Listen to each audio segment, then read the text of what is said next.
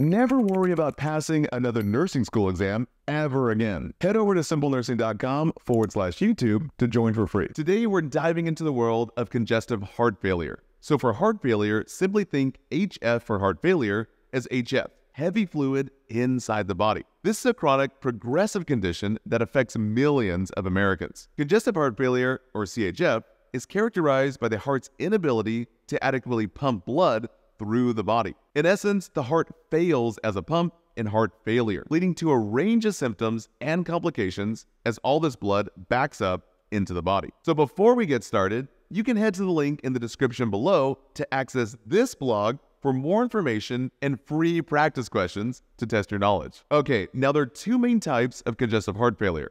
We have right-sided heart failure and left-sided heart failure. So with right-sided heart failure, simply think it rocks the body with fluid. This type involves reduced force or strength of contraction of the right ventricle, which results in decreased blood flow to the lungs for oxygenation. So again, the memory trick is right-sided heart failure rocks the body with fluid. As this right ventricle fails, fluid now fills up the body, resulting in weight gain, jugular vein distension, and basically a fluid-filled body. Now left-sided heart failure, think L for left-sided as L for lungs we have fluid backing up into the lungs. In this case, the left ventricle struggles to pump blood effectively through the rest of the body. Now, regardless of the type, congestive heart failure ultimately leads to decreased cardiac output. Fancy words for decreased blood being pumped out of the heart with cardiac output which is defined as either decreased force of contraction by the ventricles or reduced volume of blood being pumped. Now let's take a deeper look at heart failure pathophysiology. When cardiac output decreases, the body responds in several ways. First, the kidneys activate the RAS system, the renin-angiotensin-aldosterone system, which kind of act as a lock on the kidneys to retain more fluid in the body rather than the potty and constricting the blood vessels. The sympathetic nervous system is also stimulated,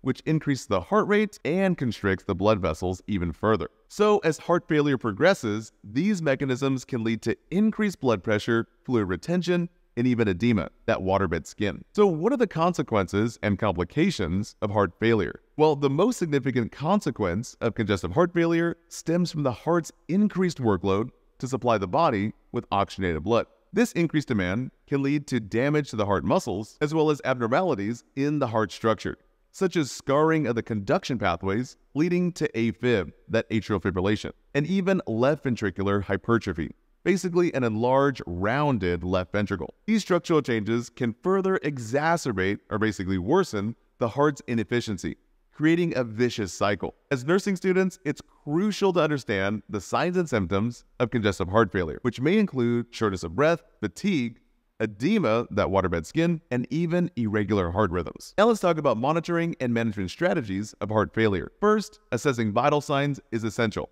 especially the heart rate, blood pressure, and oxygen saturation. Next is monitoring daily weights and fluid intake and output. Remember, weight gain typically means water gain. So if clients are gaining weight very quickly, they're basically retaining more fluid inside the body, leading to further heavy fluid with heart failure. We should also encourage adherence to prescribed medications, such as diuretics that diurese and drain fluid from the body and into the body. ACE inhibitors that end in pril, like lisinopril, that lower the blood pressure, and even beta blockers that block beats in the heart. We can also provide patient education on lifestyle modifications, including dietary restrictions, exercise recommendations, and stopping smoking. And lastly is recognizing and responding promptly to signs of decompensating or basically worsening symptoms. With all that being said, congestive heart failure is a complex condition that requires careful monitoring and management. As a future nurse, it's essential to understand the pathophysiology,